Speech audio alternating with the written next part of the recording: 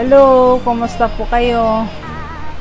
Ah, ngayong araw, ang gusto ko yung i-share yung mga tips. Yung mga tips para sa mga OFW na bago sila umuwi sa Pilipinas, dapat magkaroon sila ng bibili sila ng mga alahas. Kasi pagdating nila sa Pilipinas, mahirap nang bumili ng alahas dito kasi syempre wala nang kita. Pero pag hanggat nandun pa sa abroad, eh, kailangan mo nang magbili para pagdating dito, meron ka collection. Ipapakita ko sa inyo yung mga collection kong alahas na galing sa Kuwait. So, ito lang yung mga alahas na, na collection ko galing sa Kuwait. Ito, ito yung bangle. So, bago talaga ako umuwi sa Pilipinas para mag-pour gold, talagang bumili ako nito kasi syempre pagdating ko dito wala na akong kita. So, at saka napakamahal na at sayang na rin bitawan yung pera. Ito dati binili ko ano ito 14 grams uh, uh, 22 carats uh, 22 carats at saka ano 22 carats 14 grams. So tingnan mo. Pag, pag dito sa Pilipinas hindi ka na makabili ng ganito. Ayan. So isuot natin. So sa Kuwait naghalaga ito ng 229 dinar or sa piso kasi mataas pa yung palitan dati sa pagbili ko nito. So sa piso nasa 15,000 plus lang to siya. Ano hindi. Sa piso sorry hindi. Sa piso nasa mahigit 38,000 kasi 14 grams nga ito eh. So isuot natin with ano siya may rosca to siya eh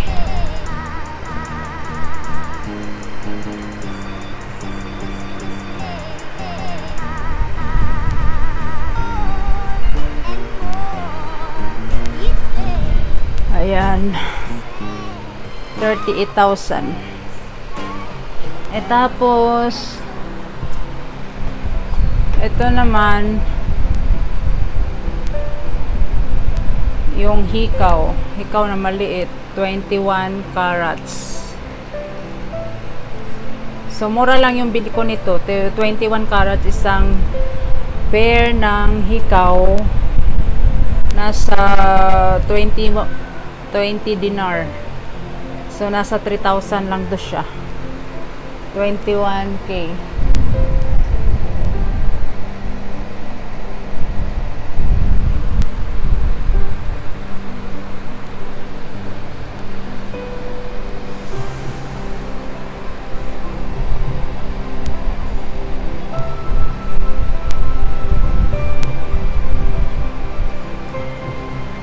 Tapos, ito naman yung ring. Talagang bumili din ako ng ring para pag uwi ko dito sa Pilipinas, din ako bibili. So, ito siya 5 grams. So, nasa 95 dinar or mahigit 15,000 in piso. Ganon siya.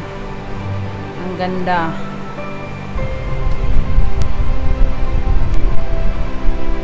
Tapos, ito naman, yan oh, pointas. Ito naman siya, no, 18K. 18K.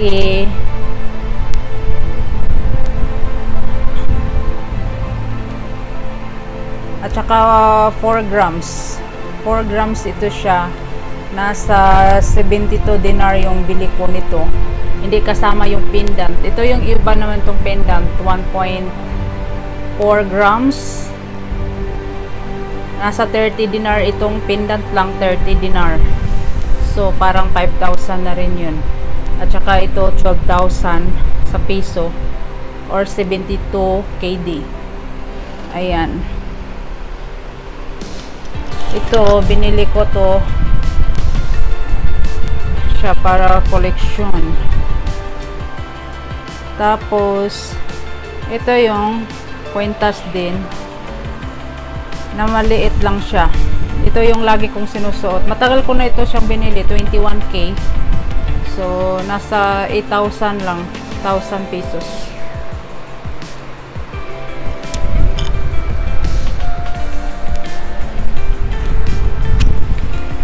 Eh, tapos, ito naman, may binili akong kwintas noong 2008. So, ito siya. Alam mo ba, noong 2008, mura lang ito eh. 60 dinar lang siya. Ganyan, oh, 60 dinar. 5 grams ito. 60 dinar lang. So, yun ang kagandahan sa alahas. Pag bumili ka ng noon, at ngayon kasi pamahal na pamahal na yung alahas. Kaya 22 carats din ito. 2008, imagine, 2008, nagbili ako, nasa 60 dinar lang, 5 grams. Pero ngayon, ang 5 grams, sa 22k, hindi mo na makukuha ng 60 dinar. Napakamahal na siya. So, yung alahas, mas magandang investment din kasi yung presyo pataas ng pataas. So, try natin.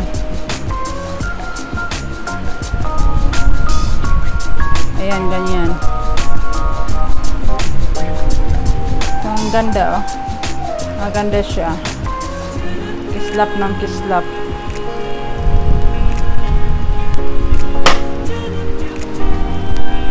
Tapos, ito yung